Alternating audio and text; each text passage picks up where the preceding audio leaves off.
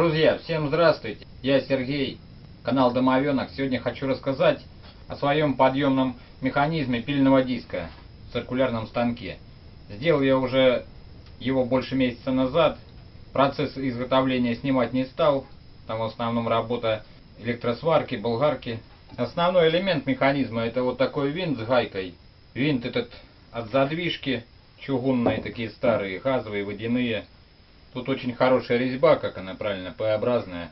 Латунная или бронзовая гайка, и на нее наворачивалось ну, что-то типа контрагайки, вот такое. Она чугунная. В ней я приварил две пластины, толщина, по-моему, 2,5, с отверстиями 10 мм. К чугуну приваривал обычную сталь электродами по нержавейке. Это самое оптимальное решение. Все замечательно держится. Гайка это накручивается на вот эту бронзовую гайку. Кстати, она имеет левую резьбу. Единственное, этот механизм поднимает диск только строго, когда диск установлен под прямым углом, то есть 90 градусов. Если мы меняем угол, то, соответственно, вот эту шпильку надо высовывать и уже подъем и наклон пилы осуществлять, так сказать, вручную. Это, конечно, можно доработать, то есть сделать что-то по принципу кардана, то есть с двумя крестовинами, чтобы оси пилы и крепление вот этого винта могли смещаться на определенное расстояние. Может быть в дальнейшем рассмотрю этот вариант.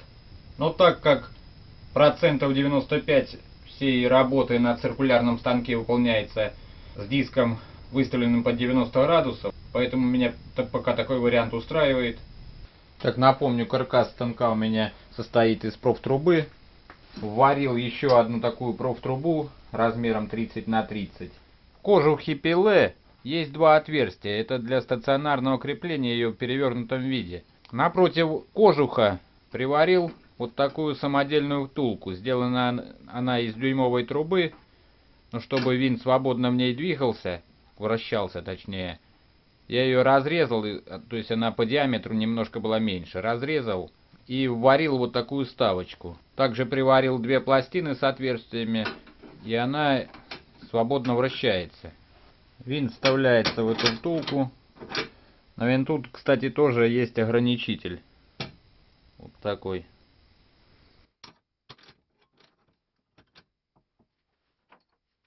Болт или шпилька десятка просовывается через пластины в отверстие кожуха.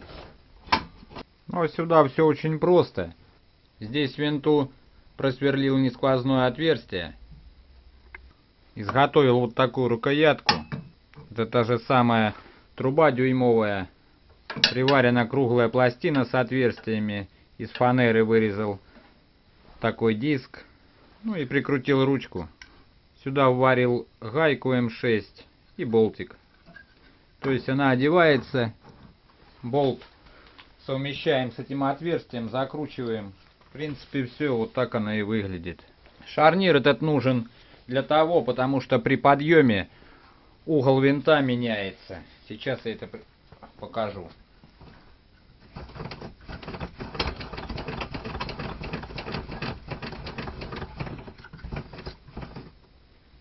То есть видите, что поднимая пилу, он также немножко выпрямляется.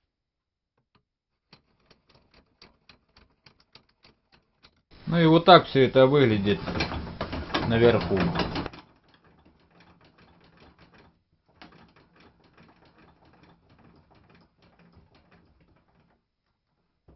Механизм меня этот полностью устраивает на данный момент. Конечно, в дальнейшем можно его модернизировать, как я уже говорил. С вами был Сергей, и до скорых встреч!